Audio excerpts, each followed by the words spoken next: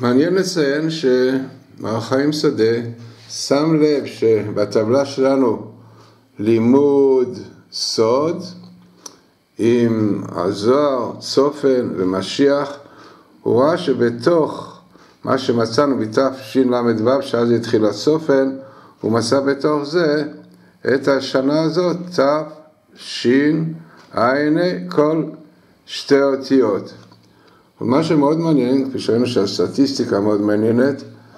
מעניין שהפגישה הזאת שמתשל"ו, שאז התחילו בעצם פרופסורי ודורון ביסטינג להפיץ ולחקור את עניין הקודים, מעניין שבטבלה אחרת שעשינו, שגם מופיע ביוטיוב, במשיח קץ לחושך, תשע"ה, אפשר לראות את זה, מצאנו משהו מאוד מעניין,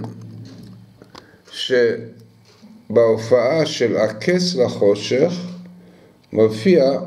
גם עניין של סוד וצופן והקוד, מופיע אותה בעצם זו פגישה מתשל"ו ותשע"ה, ממש אותה פגישה מעניינת במקום אחר, אבל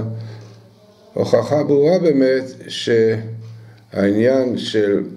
הקודים בתורה, הצפנים שהתחילו עם השנה תשל"ו, כנראה השנה הזאת נקווה, תשע"ה, יקבלו עוצמה, כפי שכבר יצא כמובן הדוקיומנטרי, תורה קוד End to Darkness, באמת הביא למצב שיראו עם את השם.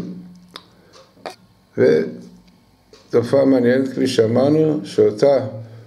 פגישה מעניינת מתשל"ו לתשע"ה, הם מופיעים פה ביחד.